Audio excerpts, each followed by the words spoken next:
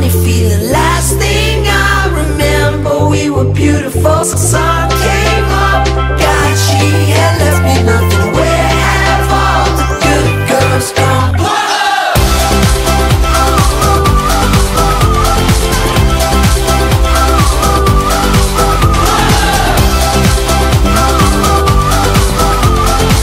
Bom dia! Hoje é segunda-feira, sejam bem-vindos a mais um Weekly Vlog. Aliás, Weekly Vlogmas, porque já estamos na época de Natal, eu estou muito contente, eu adoro esta altura do ano, é sem dúvida um dos highlights do ano para mim. E eu acabei de ir do ginásio, como dá para ver pelo meu cabelo ceboso e pela minha cara. Desta vez não levei câmera porque fiz um treino sozinha, o Francisco hoje não pôde dar aula, mas eu fui na mesma, portanto, próprios. Francisco, espero que me estejas a ver e espero que estejas orgulhoso porque eu fiquei um belo tomate. Estou a começar a minha semana com o meu cafezinho de eleição, como sempre, se bem que estou mesmo no fim já de café e de leite biológico. Portanto, esta semana vai haver paragem obrigatória no supermercado biológico. E é isto, são 10 da manhã, vou fazer o dia acontecer, porque agora com a série de Natal a decorrer no canal, há muita coisa para adiantar, muita coisa para produzir, para editar e tudo, e tudo. Portanto, malta, vamos às Bom dia! Hoje é terça-feira e eu vou sair de casa neste segundo porque vou ao dentista pôr aparelho nos dentes. Ouviram bem? Já vos conto tudo melhor, mas agora venham daí porque vamos para a consulta.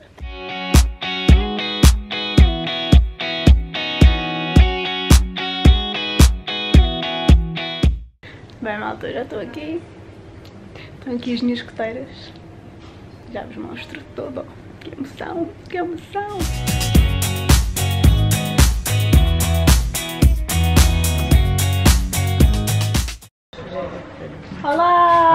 Como está? Está boa? É! Grande dia hoje. Veiga! Grande dia hoje. Vamos a isso. Vamos. Ora, muito bem. Para encaixar, colocamos assim. Colocar sempre nos dentes da frente primeiro, Ok. Alice, e depois encaixar com o polegar até lá atrás. Nunca, Lindo. nunca morder. Nunca Ok, morder. Exatamente. Senão, Ai, estas são finitas? está a ver? Isto é um espetáculo. Encaixar sempre uma de cada vez, não Ok. okay. as duas ao mesmo tempo. Ok. Que tal? Tal Ah. a primeira experiência? Ok, tudo bem. Eu achei que fossem mais grossas, porque quando eu usei as coteiras do branqueamento aquilo era grossíssimo. Estas não têm nada a ver com as outras. Pois não. Eh, esta- a espessura destas é 0,7 de milímetro, as outras goteiras é 1, 1.1, portanto é bastante mais espesso. Pois. Vamos treinar. Vamos treinar. Sim. Primeiro de cima, não é? Sim, ou de baixo, como quiser. Tente puxar primeiro só de um lado. Vê assim é mais fácil. Pronto. Babinha. Isto não parte. Não. Tem de ter alguns É que eu, cuidados. quando eu tive aquele meu de contenção da segunda vez que usei aparelho era tipo isto, mas sem ser Invisalign e partiu-se. É, já estou pró.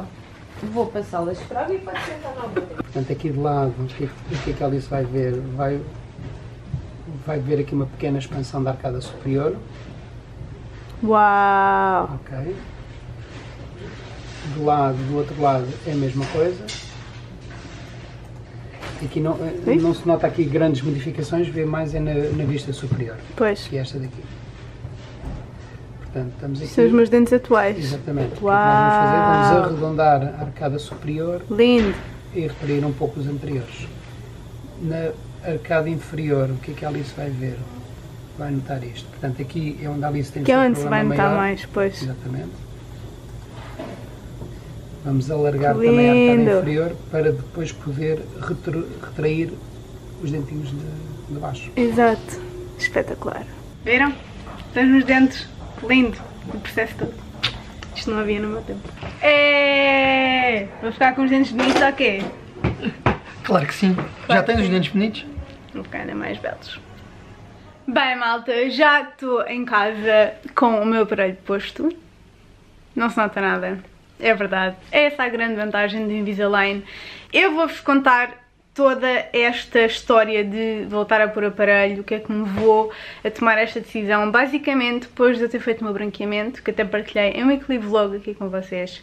Se não se lembram, eu vou deixar aqui em baixo os weekly vlogs correspondentes ah, ao meu branqueamento dentário. Depois de eu fazer o meu branqueamento, o Dr. Tomás Amorim, que foi o responsável pelo meu branqueamento, uh, perguntou-me se eu não consideraria utilizar o Invisalign, que é precisamente este aparelho transparente eu falei-lhe logo do meu grande trauma com aparelho dentário. Para quem não sabe, eu utilizei duas vezes aparelho fixo, aqueles de brackets metalizados. A primeira vez que eu utilizei foi na terceira classe, portanto eu tinha 7 anos para aí, 7 ou 8, foi cedíssimo.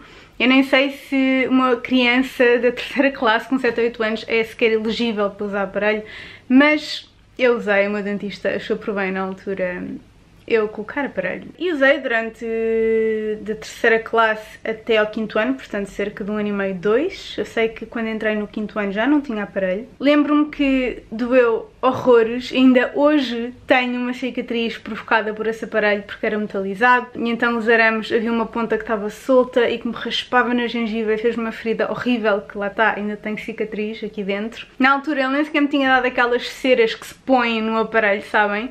Para evitar essas feridas, portanto foi um trauma, a sério, foi mesmo odiei. Ele depois tirou-me o aparelho, não me deu qualquer tipo de contenção e claro que os meus dentes voltaram a encostar e no sétimo ano eu tive de voltar a pôr o mesmo aparelho. Pus durante pai um ano e meio, que tirei, pus pai a meio do sétimo ano e tirei mesmo no final do nono. Aí os meus dentes obviamente ficaram melhores, já não sofri tanto em termos de feridas como o outro, ou pelo menos ele tinha-me dado uma cera, como não tinha dado no outro. Mas o aparelho de contenção que ele me deu foi no fundo algo que é semelhante ao Invisalign, são estas plaquinhas transparentes que uma pessoa põe. Existem aquelas contenções que são pequena arame aqui atrás, que eu acho que é o que resulta melhor, porque uma pessoa nem dá por isso, não tem de se preocupar, fica ad eterno e os dentes não entortam.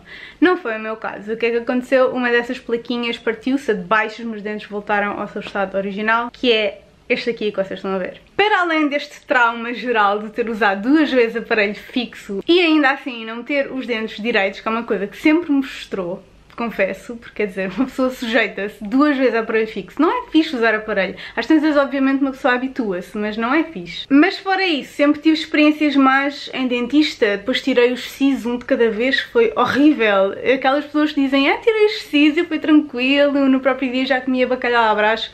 Eu não tive nada disso, eu fiquei desse tamanho, sofri, Lembro-me de ter chorado uma vez, claro que levava anestesias, mas foi horrível não gostei e portanto no fundo sempre achei que tinha tido mais experiências com os dentistas até ter conhecido a LX Clinic, que é onde trabalha o meu grande amigo Tomás Amorim, foi ele que me fez o branqueamento, como já vos disse, e depois ele sugeriu-me uh, eu fazer o Invisalign exatamente para endireitar aquilo que estava torto. Eu disse que me recusava a pôr aparelho pela terceira vez, obviamente ia considerar esta hipótese, porque como vocês veem, uma pessoa nem dá por isso. Se calhar agora percebem que eu estou assim com assim isto porque é o primeiro dia em que eu estou, ou se calhar parece mais espinha de massa, não sei. Mas eu disse que era de facto a única hipótese que eu podia pôr em cima da mesa, porque aparelho metalizado, não mesmo. Claro que é uma coisa que me frustrava ter os dentes um bocadinho tortos, mas eu não tenho complexos nenhums com os meus dentes como eles estão agora. Eu sei que não estão perfeitos, mas também não estão mega tortos nada do género, portanto não é uma coisa que me complexava. Mas depois ele introduziu-me ao Dr. Marcos Veiga, que é o dentista responsável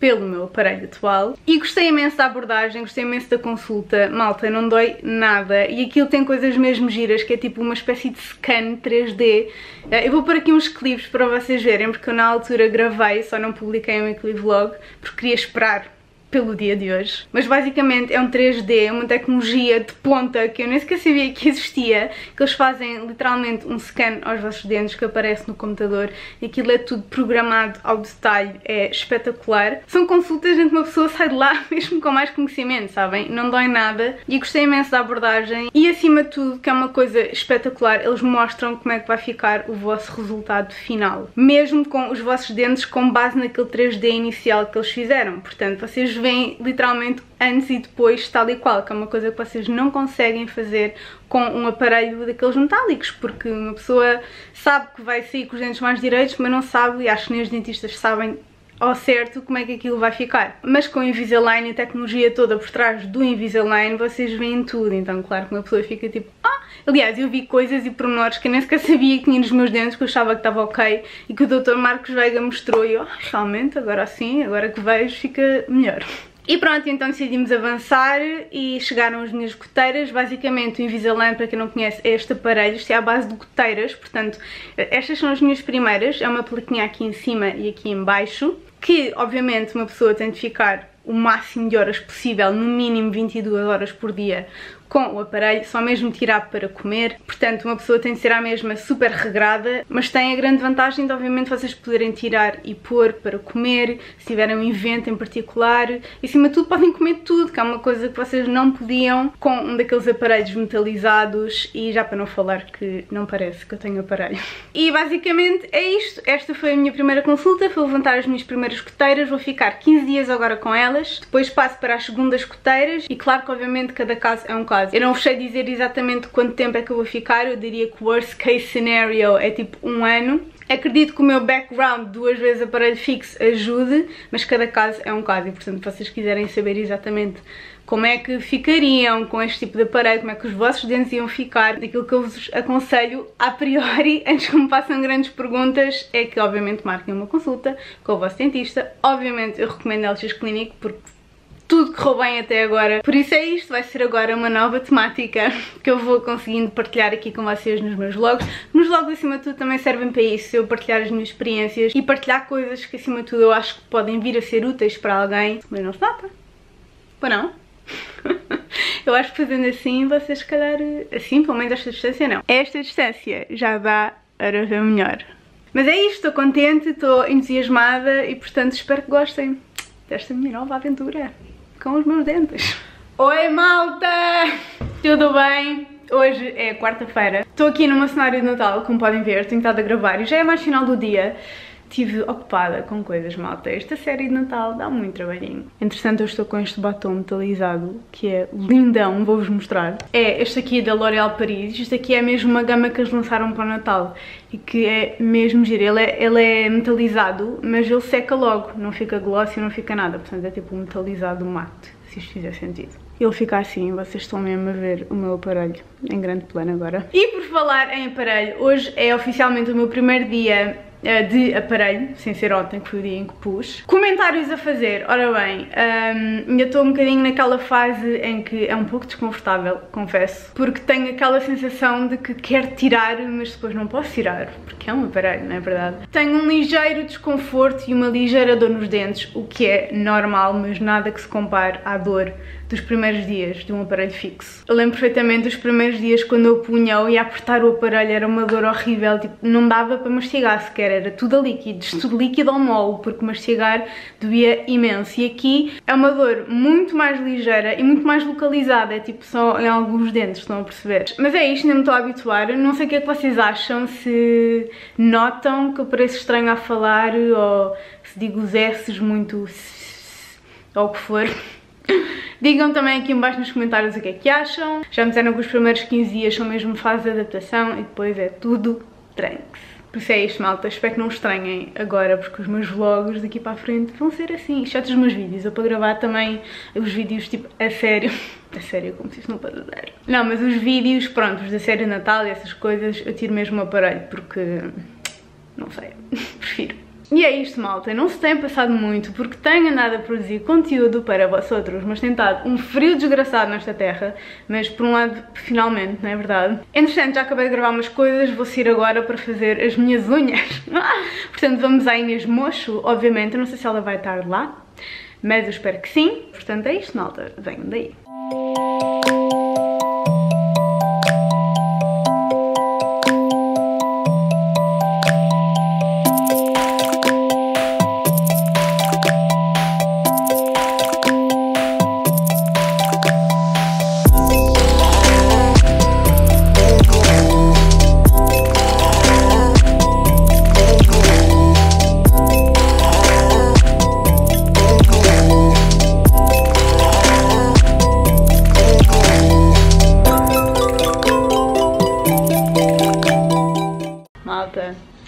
aqui também. Isto não foi combinado, juro. Pois não. Por acaso não foi mesmo. O Não que é que vieste cá fazer? As sobrancelhas. Mostra, Ah, ah. mostra a malta, que lindas Olha, que ficaram. Olha o meu pelo, pelo. O meu pelo e Sim, pelo e sobrancelha. Porque para quem não sabe, a Patrícia tinha cabelo mesmo curtinho e agora está a achar crescer. Para quê? Para depois fazer os penteados da liberdade, isso. Pois é. Que lindo. Ouviram? É para todos fazerem o mesmo. Bem, malta, vou-me embora, mas obviamente, já que está cá a moço, Amiga. Estava aqui a fazer o meu lanche. Que lindo! Oi. O que é que vais lanchar? Partilha com a malta. Olha, eh, aveia, papas de Aveia, aveia, papinha. em que eu pus aqui o leite e eh, eu bebo leite sem lactose, mas é o que vocês quiserem, bebidas eh, vegetais, leite normal, leite com lactose, sem lactose. Logo é mesmo. E depois ponho um bocadinho de canela. Mostra-nos tudo. É assim, eu sempre eh, comi canela, por isso é verdade que a canela acelera o nosso sistema. eh, o nosso metabolismo, exatamente. E há muita gente que diz que faz mal às grávidas, mas isso é, porque é quem não está habituada. Eu estou habituada, por isso eu continuo a comer canela. E, eh, e depois meto mel, que mel faz muito bem nesta altura. Por isso, um snack mega delicioso, rápido e saudável. Ouviram? De nada. Dicas da grávida. Isto é Portanto, assim, Masterchef. Quem precisa e está grávido, grávida neste caso, estou a gozar. Amiga, isto tem bem bom aspecto. Malta, aproveito e uso o espelho Inês para mostrar o meu outfit, que ainda não tinha mostrado. Estou com estes calções que comprei na Black Friday, que já vos tinha falado no vídeo. Mas esta camisola, tipo assim, bada básica, isto também é da Zara.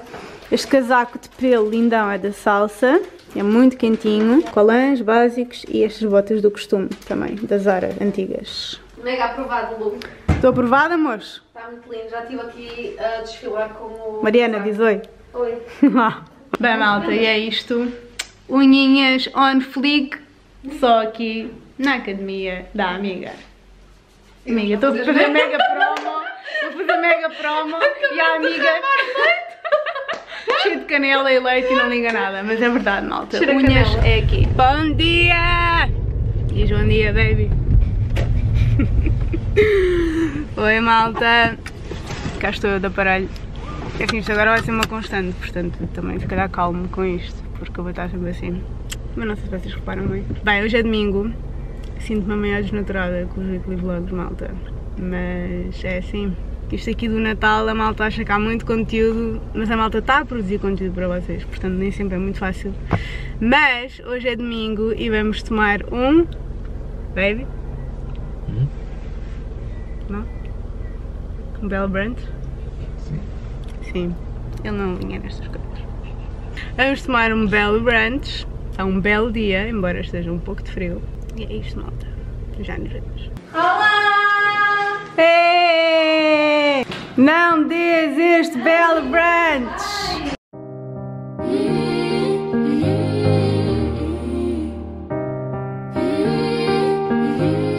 Amiga, como é que fazes?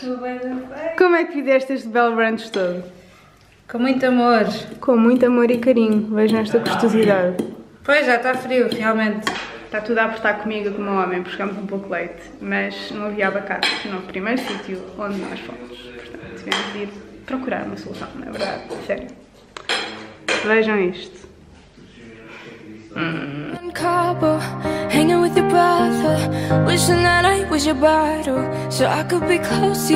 again. I know you didn't call your parents and tell them that we ended, cause you know that they'd be offended. Did you not wanna tell them it's the end?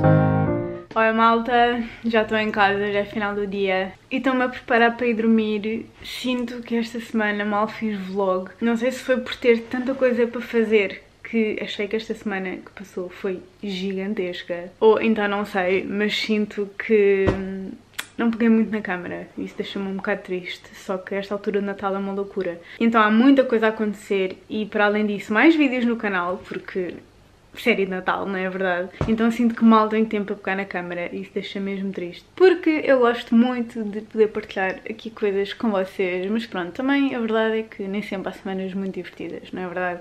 Tento dar o meu melhor em trazer os conteúdo fixe, mas nem sempre a ocasião proporciona essas coisas, malta.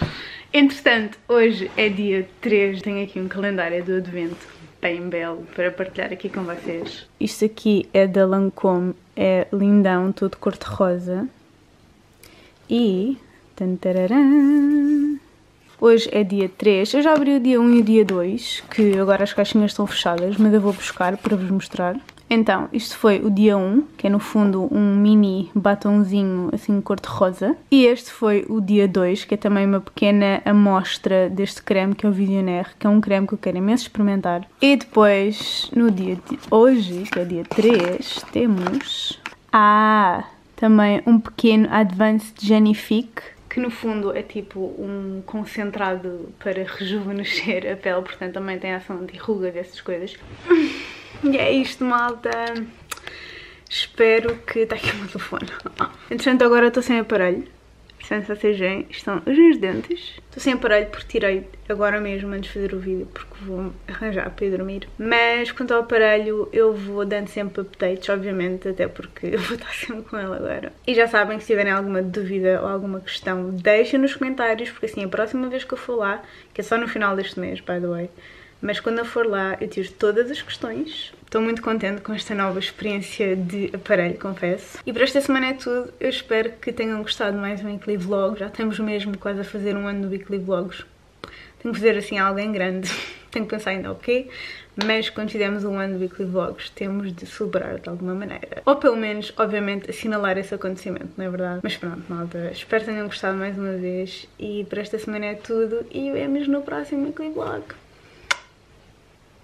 I woke up this morning, had a funny feeling. Last thing I remember, we were beautiful. So